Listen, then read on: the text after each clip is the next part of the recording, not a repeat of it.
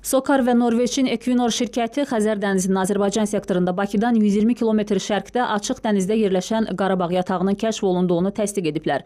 Bu barədə Sokar məlumat yayıb. Qarabağ yatağında ilk qiymətləndirmə quyusunun qazılmasına 2019-cu il dekabrın 23-də başlanılıb. Sokarın CDC qazma şirkəti bu quyunu suyun 180 metr dərinliyində Dədə Qorqud üzən qazma qurğusu ilə qazıb. İlkin qənaətə görə yataqda kəşf edilmiş neft və qaz həcmləri onun iqtisadi cəhətdən səmərəli işlənməsi üçün yetərlidir. Sokar prezidenti Rövnaq Abdullayev bildirib ki, Qarabağ yatağı müstəqillik dövründə kəşf edilmiş ilk neft yatağıdır.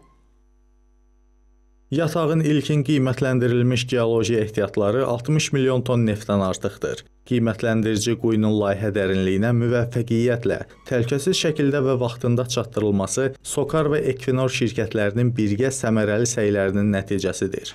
Qarabağ yatağının işlənməsi Azərbaycanın neft gəlirlərinə əhəmiyyətli bir töhfə olacaq.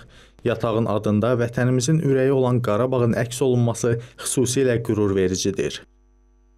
Xatırladaq ki, Qarabağ perspektivli dəniz strukturu kimi 1959-cu ildə seysmik kəşfiyyat işləri nəticəsində aşkar edilib.